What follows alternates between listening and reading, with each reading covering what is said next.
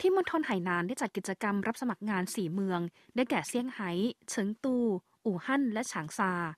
เฟ้นหาบุคลากรที่มีศักยภาพทำงานที่เขตท่าเรือการค้าเสรีไหหนาน ในนครเซี่ยงไฮ้ธุรกิจและสถาบันมากกว่า 100 แห่งของไหหนาน ได้เปิดรับสมัครงานแบบออฟไลน์ ยังเปิดรับประวัติส่วนตัวทางออนไลน์อย่างต่อเนื่องด้วย ในนครอู่ฮั่น ผู้ประกอบการ 53 แห่งของไหหนาน ได้นำเสนองาน 1,385ตำแหน่ง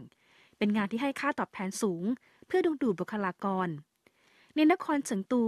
โรงพยาบาลประชาชนมณฑลไหหนาน ได้นำเสนองานเกือบ 300ตำแหน่ง ไม่ว่าจะเป็นผู้เชี่ยวชาญด้านเทคนิคการแพทย์ หัวหน้าห้องทดลอง วิชาอาชีพที่ขาดแคลน การพยาบาลและอื่น ๆด้วย